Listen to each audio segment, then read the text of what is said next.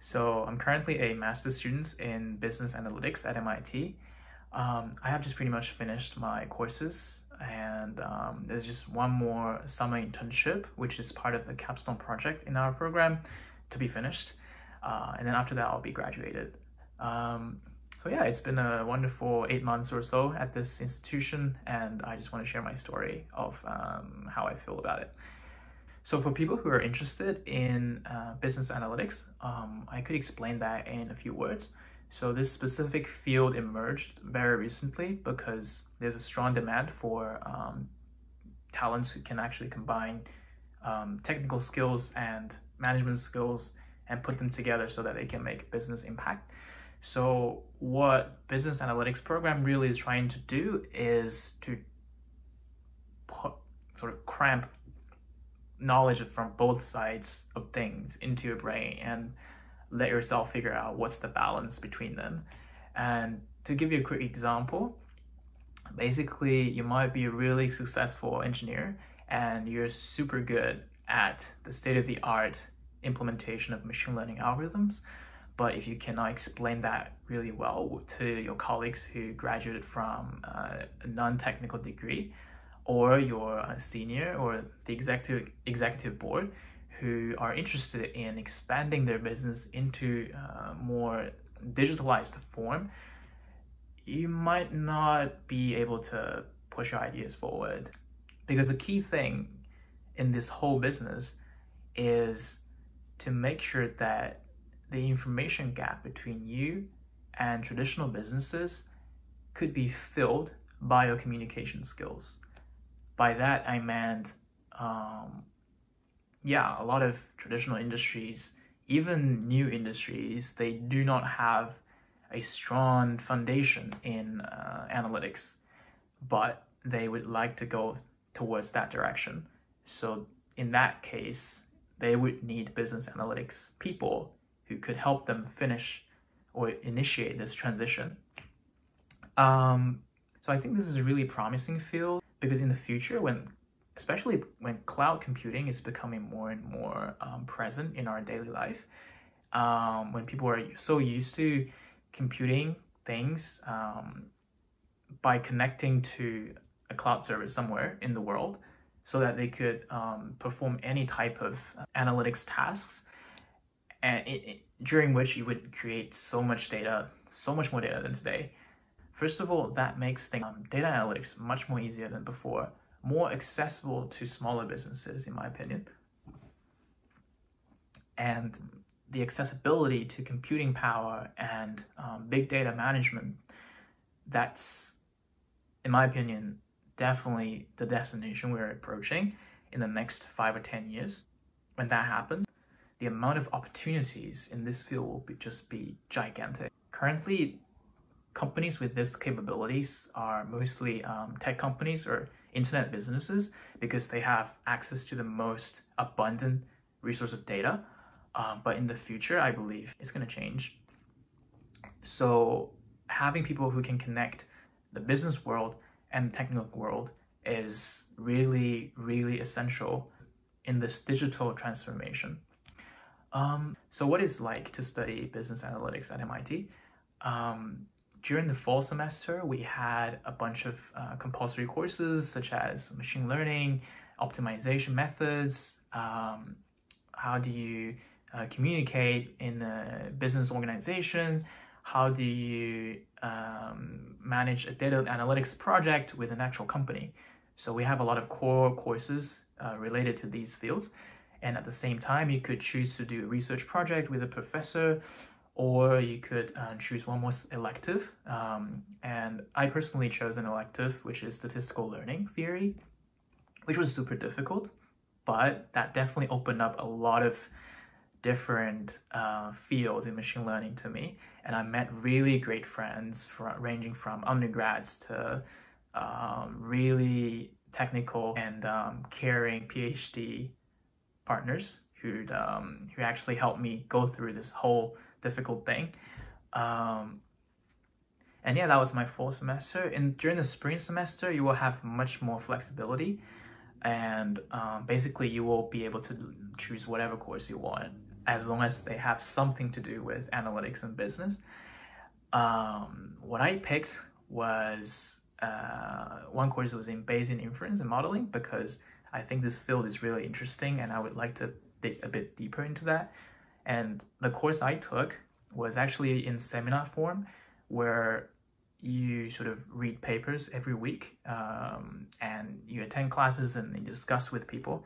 And in each class, there will be one student going on stage to present. Um, and people and the professor will just be bombarding them with questions, Q and A's, and they're just really fun. And you do learn a lot of the state of the art.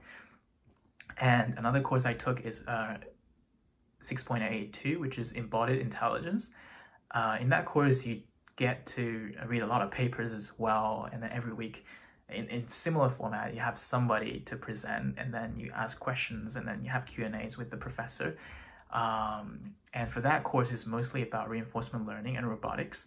So these two courses really opened up um, the research field to me, and I have um, never read so many papers as I did this year uh, ever in my life.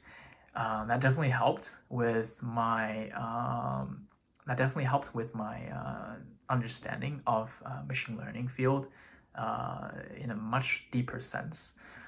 Uh, apart from that, I took a course in um, creative design. So people are trying to use machine learning to help with design. Uh, for example, you could use uh, variational autoencoders or um, generative uh, adversarial networks, GANs, to um, sort of randomly create a piece of artwork or a piece of shape that um, sort of have some share some kind of similarity or higher level latent space in machine learning language with your original design of say your tables your chairs, your buildings or whatever, your shoes. So that's really cool. Uh, and also that course was a more like a general introduction of machine learning to people studying uh, architecture and design. So I met a bunch of uh, friends outside of Sloan Business School uh, as well as ORC. Uh, yeah, and then last but not least, my capstone project, which is with a retail company uh, selling beer and it's really interesting because it's about assortment optimization. You're you're asked to implement uh, optimization algorithms to help them uh, figure out the best assortments at each store they're delivering products to so that you can maximize the revenue of the whole company. So as you could see, this program is really flexible.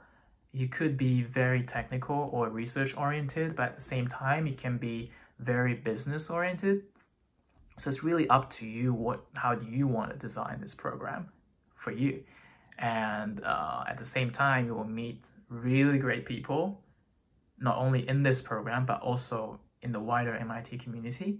So um, in our program, we have a lot of super smart people, people who had um, work experience before that made them really mature and um, really sharp in terms of managing a project so it's a really diverse type of environment, but at the same time, it can be also uh, very homogeneous in some sense because uh, most people are interested in becoming a data scientist or a product manager with a digitalized uh, business. And um, I would say it's it's really good if you if your own preference is to become a, um, a data scientist, a business analyst. But if you want to expand your own uh, horizon, I would highly recommend that you also extend to other departments such as computer science departments or uh, design departments, as I mentioned. And there are also a bunch of engineering courses.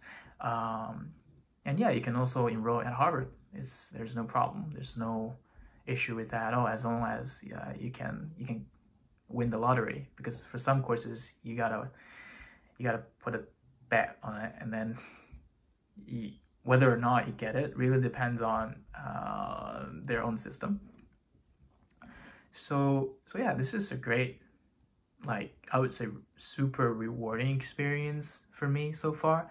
Like i have learned so much. Uh, maybe those knowledge were not taught by any professors but rather in the projects or when you're discussing with people, you simply pick things up, pick skills up, or you have to learn something from scratch. For example, you might just have to learn AWS from scratch using command lines, which I didn't do at all before coming to MIT. Um, but you just got to get it done because uh, that's how you're going to run heavy computing. Um, and also, sometimes uh, you have to learn how to build a wheel uh, because the existing packages or existing APIs in machine learning may not solve all the problems. So you might want to uh, write your own object of machine learning classes so that you could use them uh, in your specific problem. So yeah, I think I think this is a really practical program and what you learn, what you do would really help you with your future career. Um, apart from that, I feel like the network we have for this program is just super, like super broad, super interesting, and super um, helpful. because people came to our program from time to time just to share their stories with us um, at any stage. Like, it just really helped because um, this program itself is very intense and uh, stressful. So having some senior coming back to talk to you about how did they go through the capstone interviews, how did they go through the fall semester with the pressure, how they select electives as well as looking for jobs and even giving you opportunities of referral. These resources are just um, uncomparable by any programs, I guess, that I applied to one year ago. Um, and and I feel like because for me, I am the fourth fourth year of this program. This program started in 2016. Uh, the the longer this program runs, the more alumni resources we will have. So it's really good for you to join this program when it gets built up a little bit so that uh, it's easy for you to reach out to people and see what how they're doing, uh, what they think about this program. And trust me, everybody is really helpful. Everybody is willing to talk to you as long as you're interested in this specific field and just reach out to them.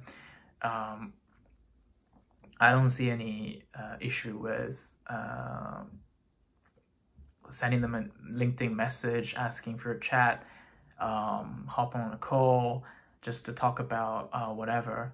Like that's just this. This is just a unique experience, and and yeah, I think I think that's that's pretty much it about uh, my uh, opinions of this specific program.